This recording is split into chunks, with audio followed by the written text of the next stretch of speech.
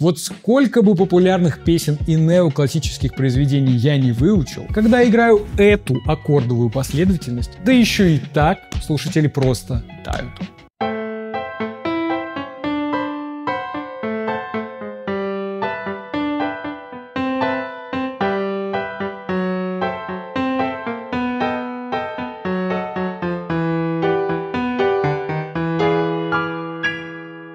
Звучит жарко, необычно и танцевально. А самое главное, с этим справится даже неопытный новичок. Ты же сам видел, я левую руку вообще одним только пальцем играл. Секрет этой последовательности аккордов в том, что я играю их в ритме танца босса нова, который ну просто на каком-то внутреннем уровне зажигает в нас огонь страсти и желания. Ну и конечно важно добавить некоторые дополнительные ступени в аккорды, которые придадут аранжировке еще больше пикантности. Давай с аккордов как раз и начнем. Чтобы тебе было проще выучить ритмический рисунок, я сначала покажу все на примере трех аккордов. А потом в конце видео мы разберем, как и какими аккордами последовательность можно усложнить. Итак, первые три аккорда это аккорд С, чтобы его построить, я нашел C и от него посчитал сначала 4, а потом 3 полутона вверх. Еще один аккорд D. То же самое, он у меня мажорный, я нашел D, посчитал 4 плюс 3. И аккорд BM. Вот такой вот аккордик, я нашел B, и аккорд этот минорный, значит, я считаю сначала 3, а потом 4. Раз, два, три, раз, два, три, четыре. BM это не самый удобный аккорд для новичков, поэтому ты можешь ставить руку чуть повыше задвигая ее больше в черные клавиши. Тогда будет попроще. А в левой руке я использую ноты А, Е, Д, снова иду на А, а затем G.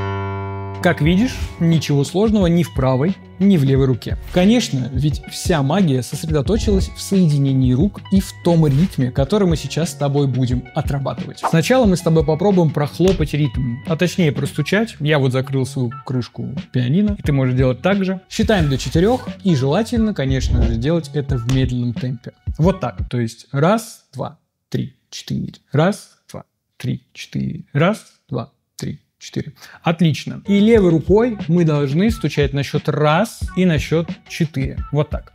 Раз, два, три, четыре. Раз, два, три, четыре. Раз, два, три, четыре. Раз, два, три. Как только начинает получаться, можешь немножко ускорить темп и считать побыстрее. Раз, два, три, четыре, раз, два, три, четыре, раз, два, три, четыре, раз, два, три, четыре, раз. Мы называем это пунктирным ритмом. После того, как ты уже понял, как его стучать, ты можешь считать про себя.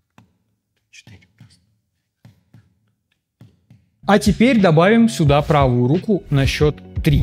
Раз, два, три, четыре, раз, два, три, четыре, раз, два, три, четыре, раз, два, три, четыре, раз, два, 3-4. Очень рекомендую тебе отработать этот ритм двумя руками где угодно, чтобы довести его до автоматизма. Теперь переносим это на клавиатуру. Итак, в левый начинаем с А. Раз, два, три, четыре, раз, два, три, четыре, раз, два, три, четыре, раз, два, три, четыре, и G, раз, два, три, четыре, еще разок, раз, два, три, и заново, раз, два, три, четыре, раз, два, три, четыре, раз, два, три, четыре, раз, два, три, четыре,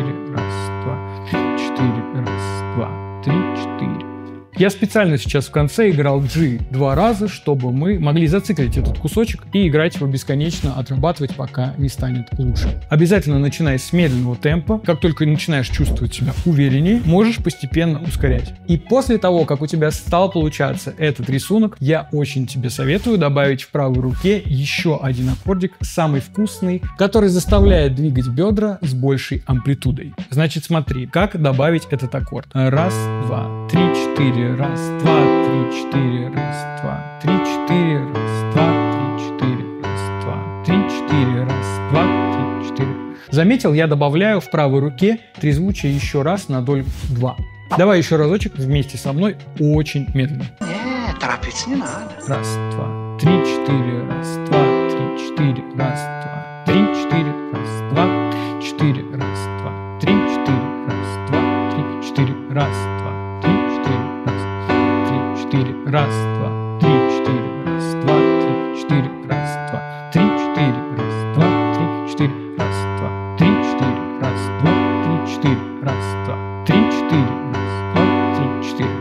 Прежде чем усложнить уже получившуюся последовательность аккордов, я тебя очень прошу сначала ее отрепетировать как следует, добиться автоматизма, чтобы игралось легко и свободно. А еще переходи по ссылке в описании и забирай целых 5 бесплатных уроков нашей легендарной программы «Фортепиано свободно и навсегда», где ты за 5 занятий пройдешь путь от первой мелодии на фортепиано до своего собственного произведения, а также узнаешь, как научиться играть на фортепиано свободно за 10 шагов. А теперь вернемся к нашей басанове. Я готов. Спасибо.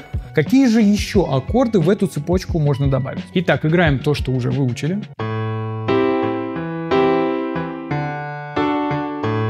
Доходим до G здесь.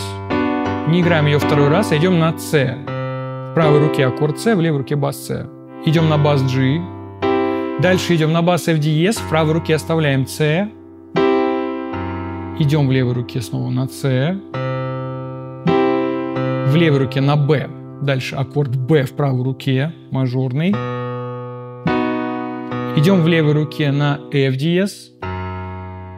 И спускаемся на Е. А в правой руке играем БМ. И после этого можно сыграть B уменьшенный, то есть взять вот эту черную клавишу и опустить на F. Я понимаю, что, скорее всего, у тебя сейчас раздвигаются глаза, поэтому давай вместе со мной мы сделаем это очень медленно и подсчет.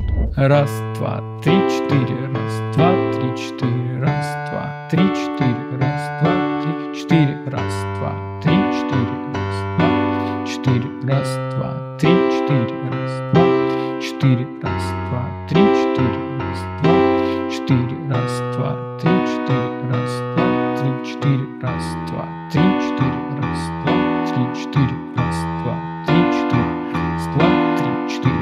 Прелесть этого трюка в том, что когда ты выучишь его целиком и будешь играть его свободно, в тебе проснется этот жар, это стойкое желание играть басанову. И ты сможешь добавить в него всякие интересные нотки. И твой ритм станет еще более разнообразным и горячим. И ты будешь интуитивно понимать, куда еще можно добавить нотки и дополнительные акценты. И давай я покажу тебе, как еще можно сыграть эту басанову совсем несложно.